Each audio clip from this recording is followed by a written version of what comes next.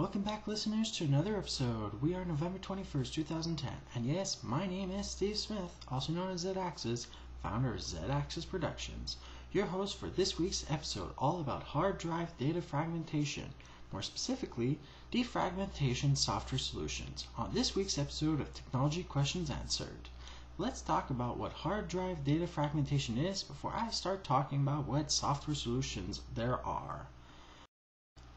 Hard drive fragmentation refers to data clusters and files being saved in multiple pieces in the different physical locations along the surface of traditional rotating disk hard drives, which most of us still use.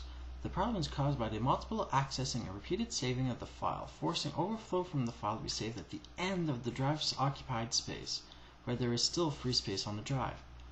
This causes the reader head of the hard drive to have to seek for the entirety of the file's fragmented pieces to be able to load the whole file as a whole.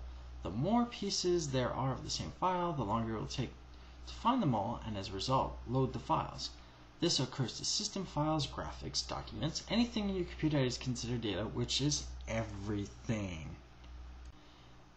Now, if you decided to regularly use a data defragmentation solution, you will reduce the amount of reader head seek time by placing all the files data clusters closer together, reducing load time, speeding up your computer.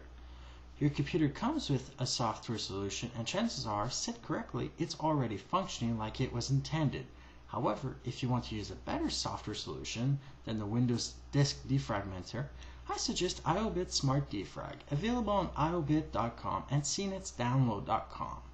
It comes with more options and the ability to diagnose your computer's current fragmentation percentage.